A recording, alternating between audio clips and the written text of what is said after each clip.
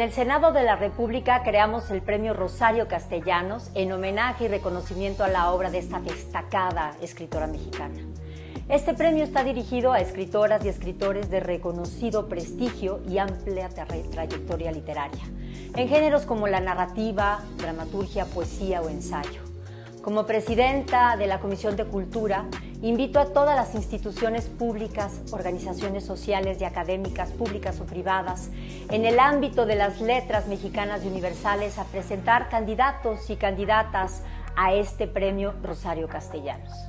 Las postulaciones se recibirán desde el 5 de julio hasta el 16 de agosto de este año a través del correo electrónico cultura.senado.gov.mx.